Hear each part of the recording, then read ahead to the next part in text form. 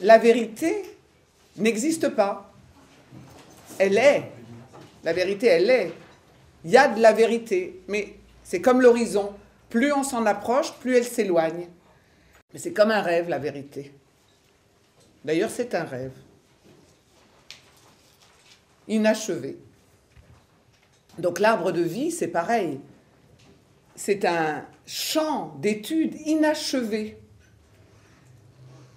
Et puis un jour, on va le regarder, on va le comprendre de cette manière-là. Puis de toute façon, dix ans plus tard, on sera plus le même. Donc on va le voir tout à fait autrement, parce que ce qu'on n'était pas capable de voir il y a dix ans, on est capable de le voir aujourd'hui. Et ainsi de suite. Et ce qui est vrai quand on le prend d'une manière n'est plus tout à fait vrai quand on le prend d'une autre manière. C'est le propre des structures symboliques. C'est le propre des structures symboliques. Elles métaphorisent de la vérité, mais elles ne seront jamais la vérité. Elles métaphorisent quelque chose de la vérité à travers les symboles, qui est la manière la plus puissante d'appréhender la vérité.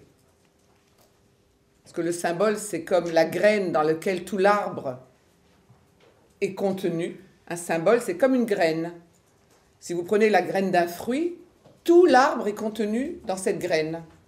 Ben, un symbole, c'est comme une graine d'un arbre. Tout est contenu dedans, mais c'est potentiellement contenu. Et c'est ça le propre d'une structure symbolique. Et l'arbre de vie, c'est une structure symbolique. C'est-à-dire un ensemble de symboles qui fait sens, un ensemble de symboles dont la structure, l'organisation de tous les éléments fait sens, et qui, comme toute structure symbolique, elle ne fait que sens. Elle n'est pas la vérité, mais elle fait sens et elle permet d'appréhender des éclairs de vérité à l'infini. Je suis en train de travailler avec vous l'arbre de vie à partir de cette division en triangle et carré. C'est une façon d'approcher l'arbre de vie. Et vous voyez les questions que ça pose entre la métaphysique, l'éthique, l'intellect et l'action en malcoute, qui est le petit carré à la fin tout seul comme un grand, et qui est la résultante de tout le système, qui est la concrétisation de tout le système, en carré, car le carré est le symbole de la matérialité.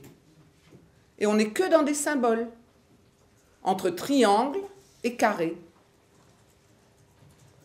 Je vous rappelle au passage que les sphères de l'arbre de vie, les dix sphères de l'arbre de vie, en hébreu, le mot, le mot sphère, c'est séphira.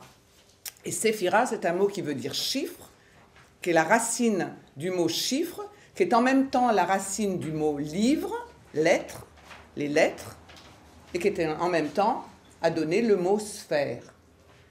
Traduction, toute cette compréhension de l'arbre de vie, c'est une mathématique de l'esprit pour comprendre différentes façons de faire des mathématiques. Là, je vous fais une mathématique fondée sur des triangles et des carrés, en sachant que le triangle est toujours une dimension inachevée qui inscrit dans le symbole quelque chose de l'inaccompli et en même temps quelque chose de la triangulation du Père, du Fils, du Saint-Esprit. Vous savez, la fameuse triangulation de base. Il y a moi, il y a l'autre, et puis le grand autre. Ça renvoie toujours symboliquement à ça. Le carré, c'est l'existentiel. Le carré, c'est toujours le symbole de la matière et donc de l'existentiel. Et on voit que quand on approche l'arbre de vie entre triangle et carré, c'est intéressant d'aborder l'arbre de vie de cette manière-là quand on veut réfléchir à la différence entre l'essence et l'existence et la spiritualisation qui permet de faire la passerelle entre l'existence et l'essence.